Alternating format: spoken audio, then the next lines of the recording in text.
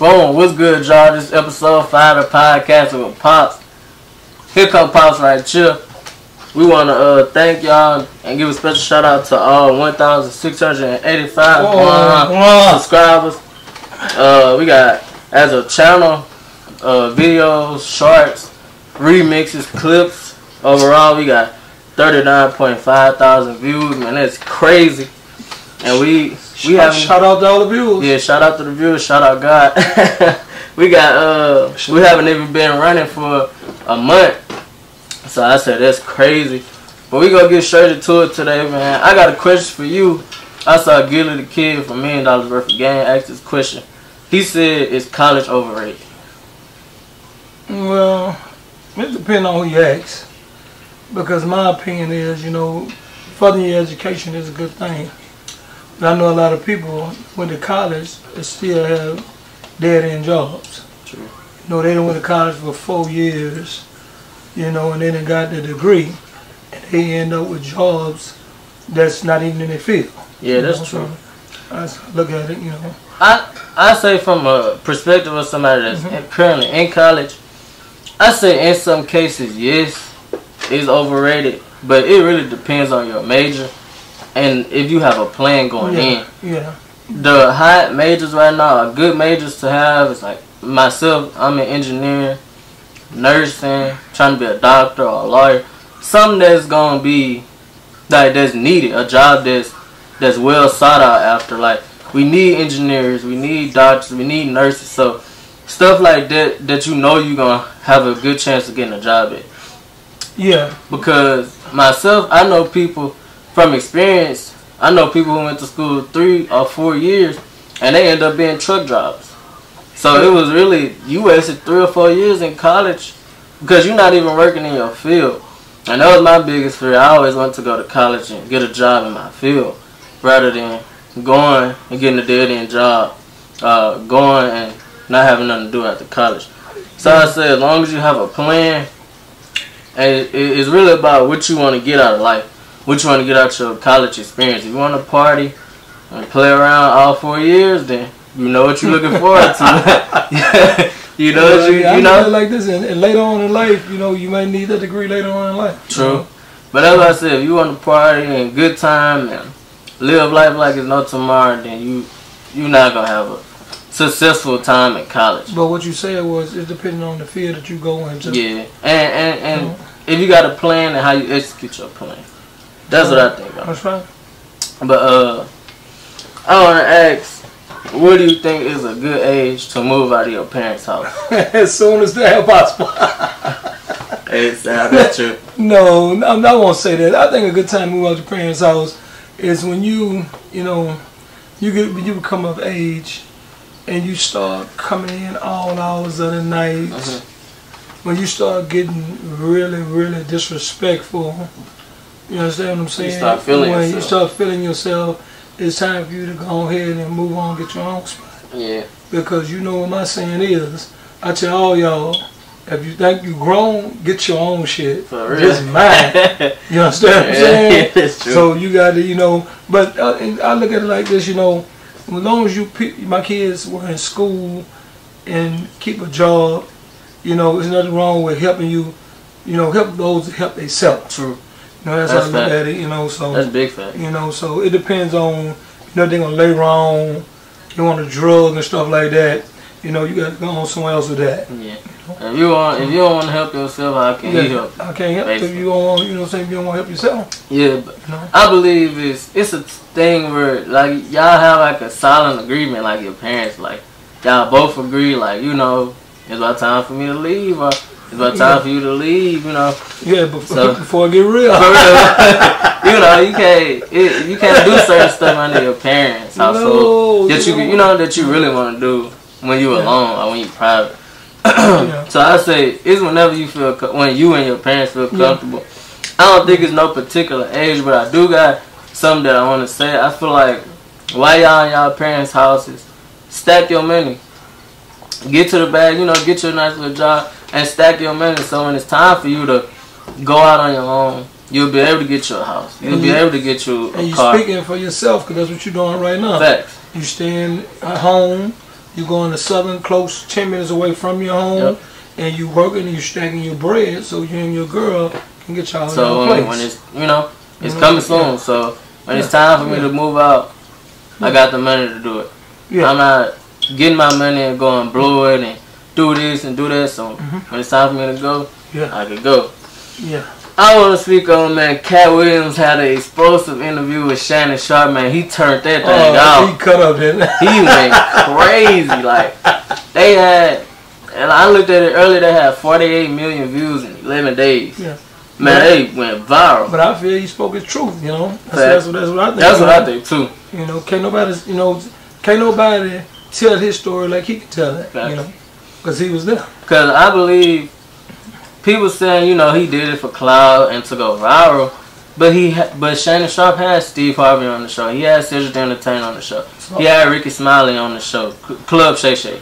So he Oh, they were saying stuff that wasn't true, and Katt Williams out, so he came to clear. Clear Clear it name. clear his Clear his name, name. basically clear his name. So he came to clear his name. How can y'all be mad if somebody, if somebody lie on you, uh, you know, stirring on you, Yeah. uh, you gonna get on Instagram and clear your name.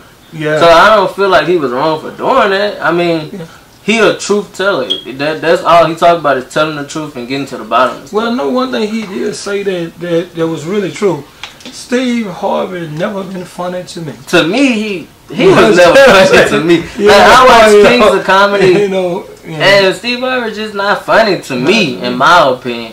Brandon Mac, my favorite. I feel like Brandon Oh, Mac yeah. was the funniest out, out of the yeah, Bernie, yeah. So Yeah. Steve, but Steve what? Harvey never been. You know, and the thing about it is that Steve Harvey actually was a backstabber because in Ocean Eleven, when Bernie Mac played in it, Steve Harvey tried to steal that, that part Yeah, that's from what Bernie Mac. Said. I brought it to your attention before this Cat Williams stuff jumped off, like a week or two before.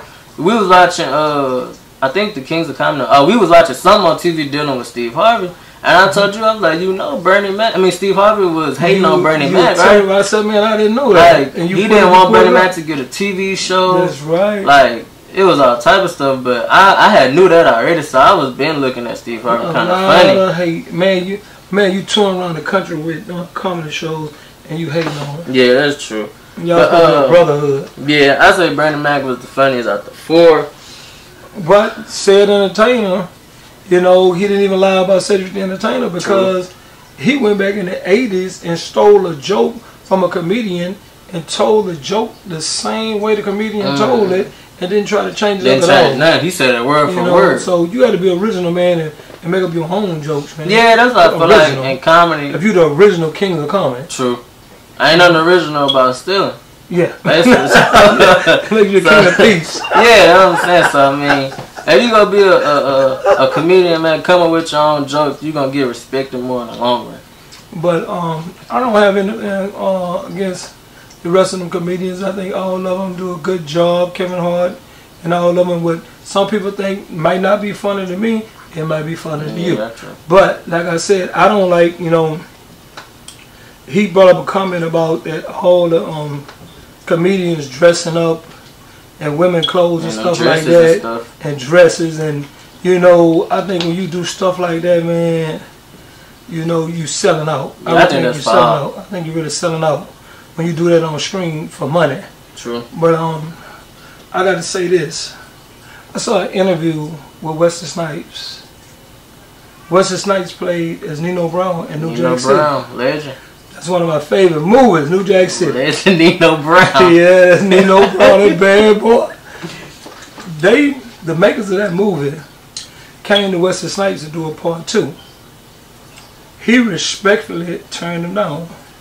He said he not gonna make movies where black men they're stereotyped as drug dealers. So you gonna make a movie with a wig and a dress on and To Wong Foo. Yeah. So I mean, I wonder how you really feel about that. That's what I'm saying. You can't say something like that and then Yeah.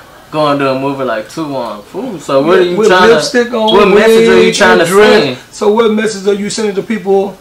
You understand that way? That's what I'm saying. And uh, I mean Jamie Foxx, Kevin Hart, Chris Tucker, Wesley Snipes, Nino Brown. If y'all don't know, Tyler Perry, you know, man, they all and put their dress on and. And I just gotta say, man, when you put their dress on, man, that's very. The world That's you like humiliating, that. man, That's like- humiliating you. So I say, Exactly, it's humiliating, but think how their careers took off Yeah. after they did that, or when they did that. So I mean, Katt Williams had a lot of truth to what he was saying. We can't fall in our feelings He because sure did. he said something about people that we like and we love to see on TV. Yeah. So And you can't get mad about that, you know. yeah, uh, but for me, I believe Katt, Katt Williams is funny, Yeah, you funny and there's a lot of stuff that go on in Hollywood that people won't believe. And they don't know about. Like they'll say it's conspiracies and stuff, but he been around it. Like, what reason he got to lie? Yeah, I got. Exactly. Uh, next segment, we got why do we want to be our own bosses? I I always want to be my own boss. I have as well. You know, I got a, a, a my father came from Woodville, Mississippi. He moved to Baton Rouge, Louisiana, and he had his own construction company, Greens Construction Company, where he did house foundation, building foundation slabs. And man, he worked in that construction company, his own business. He built with his two hands. He worked that business to the day he died. He always told me and my brother that he'll never work a nine to five for any man. He always wanted to work for himself. So he tried to instill that in us. So he um he told us that and I went against the grain. I went and got a nine to five and worked for somebody. And when I started getting a nine to five working for other people, I really understood what he meant. And when people have higher positions over you, some people and your bosses, your managers, or anybody on the other, other on a higher level than you, sometimes they try to make you feel less than Mhm. and really try to disrespect you. You understand what I'm saying? So that's why I decided that I want to work for myself. That's why I have high shot delivery service. That's why I have water slides and bounce houses. Because man, a lot of people, you know, they will pour a lot of shit on you Facts. when they feel they got the upper hand over you. That's. You know, I say, man, people want to flex their muscle. that's They want to show how how big and bad it is. They want to Exactly. show, oh, I've been here longer than you, so you do this, or Yeah. you do that. You know what I'm saying? Like constant bickering and playing games, and I'm in different sections of the store when I finish my work. I'm Yeah. doing somebody else's job because they too lazy to do it. Who gonna do my job if I don't do it? So you know what I'm saying? You know how that go. But I say, uh, I want to be my own boss. I want a legacy. I want something to leave behind for my son. Exactly. I I can't do a job I'm working at now. That's not a legacy.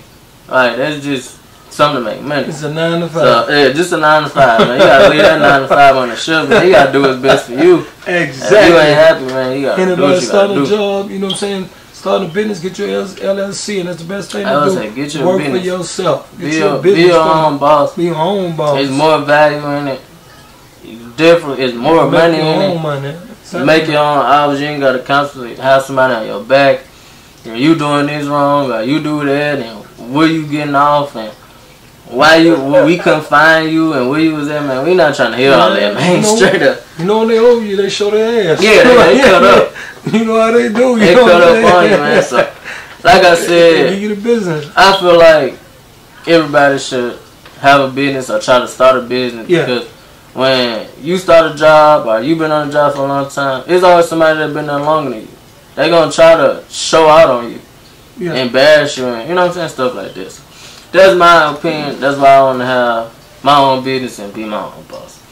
But we got our boxing segment, man. We got Errol the True Spence. He had cataract surgery. He said that's the reason Here, why. here come the excuse. here come, here come this. I lost my money.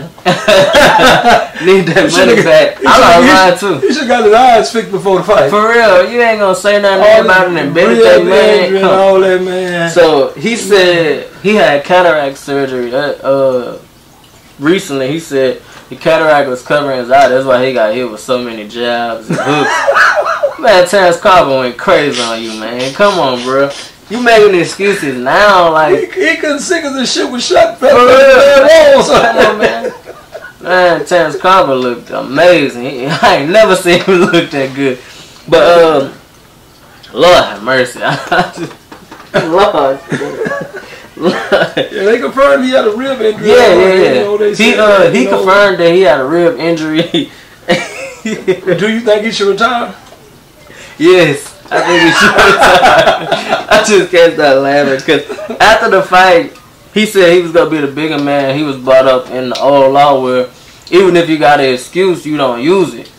That's what he posted on Instagram like days after but the fight. all this was going on, you had cataract, glaucoma, Brain you got damage, your man. broken, on, something man. wrong with brain. Like, man. Why would you cause millions of people to lose their? Man, man, we was two of them.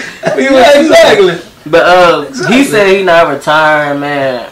He already had a torn retina. You think it's worth a rematch?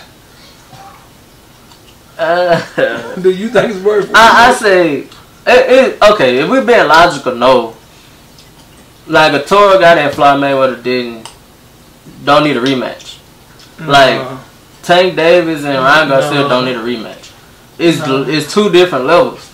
But- It if they don't rematch, it'll always be what Errol Spence wasn't at his best, or you know, he had an Yeah. eye injury or he had a, a rib injury. So, but he said he crazy. he said he's not retiring. Crawford not going for the excuses. He wished him well, and you know how that go. If Crawford versus Spence two doesn't happen, who do you want to see both of them fight? Uh, I really want to see Crawford fight. Um, mm, see, it's maybe Boots Ennis. Boost Energy. Maybe Boots I tell to be a Ennis. showdown. Boots Ennis. 'cause Both of them got the same fighting style. And man, that'll make one hell of a fight. Yeah, that'll be a crazy. That'll make That that's one fight I know will live up to the Boots. Ennis, man, that'll be a bad one, man. Like that that fight Nah. that'll be fight of the year for like for many years. Like man, we ain't seen a fight like Boots Ennis versus Terence Crawford in a yeah, minute. Like, that'll go down so in the books. That'll go really I think that'll probably be one of the greatest fights in recent history, it, in my opinion. I I want to see uh, Spence and Crawford don't fight. I think Spence should move up and fight Tim Tszyu. He been calling out, yeah, he been calling out Charlo for a while. Yeah, him and Big Charlo will be a, a, a good, real good fight. Yeah, they a uh real good fight. they uh he been calling out Charlo for a while, Mm-hmm. but you know Charlo moved up and fought Canelo, and he got a lot going on like legally. So Like, I, I didn't want. I need to ask you a question. I want to get on this subject. Why some exes can't let go? I just can't let go. Should you should you be friends with someone you split up with? No, I don't think you should, especially if you was intimate with them. I say no. That's just, if you're in a relationship, no. Even if you're not in a relationship, I- I- a new relationship, I still say no. I, I think when it's over, it's over. it's done. It's, it's, I mean, I'm, I'm not trying. There's no need to double back. A Yeah. friendship is just keeping the door open Yeah, to be like, well, if, if I can't find nobody else, let's get back together. but you know what? I think you're a fucking weirdo. Facts. if you fool around there, someone to block you, and they done left you alone, and you go on their Instagram, you go on their Facebook, you go on all these sites to try to follow them. You understand what I'm saying? You see them with other people they happy with it. You understand what I'm saying? I gotta look And- in the and look, camera, look, man. You look. are a weirdo, man. Look, and they continue to follow you and stalk you. And by the way, shout out to these stalkers. You know who you are. Y'all know who y'all is. If you watching this and you feel some type of way, you one of them. You know what I'm saying, man? I mean, you you got at some point you just gotta let this shit You go. gotta let go. You gotta move on, man. You know what I'm thing saying? is, if, you- if you You know. dating a, a woman, uh, you know what I'm saying, and they move on and have a child, you're done. There's no getting back. Like, it is no more coming back and uh, I miss you and let's. I fix it. it- it's at some point you got to man up. Come on now, let go. You know, it's at some, at some point you got to man up. Like, Like I, I said, I gotta say again, shout out to you stalkers. Shout man, y'all know You who y'all know is. who you are. And like I, like the dude in the song said, put that woman first. If you gonna act up and, and not do right, don't try to come back and, and fix it. Man, it, it's over with. It's over. It's done. What can you do? Stick that fork in it. it ain't nothing you can do. Come on, man. Like y'all got that bad man on the spin the block and double bad man. we ain't going for that, man. Straight up. Like. Just move on, crazy. bro. We all grown. It- It's no It's reason to try to bro. come back.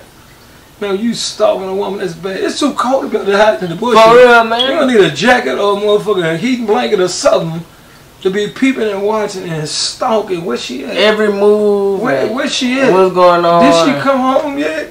Oh, that's her right there. She she cannot open her car. For I, real. I see her. That's her right there. Is that That's facts though, man. Like that, that's weird, weird activity. That's that weirdo shit. You worry about what you doing with another man? Man, that's, that's crazy, man. I never understood it. Once it's over, it's over. Yeah. Ain't no more friendship. You blocked Yeah, I ain't no. I'm trying. I'm not trying to be no friend. This is over. immediately. This dead. This dead. Leave it where it's at. Bury it. Uh, Get the show. I'm confused. I guess we we different. Niggas trying to come back and hey y'all y'all pitiful man. Yeah, that's that weak shit. Yeah, Hey, yeah. man, that's that weak I shit. got man. a motivational message, man. I, I Oh, guess man, we no. got a motivational message. I didn't write nothing down, but just let go. Just let go. If it ain't meant to be, it ain't meant to be. Don't uh-huh. don't stress and trying to figure out. I wish the baby was mine and whoop the whoop. It just is what it is. Just let go and let God. I guess. Yeah. Put God first, and everything will be all right in your life. Peace. Peace.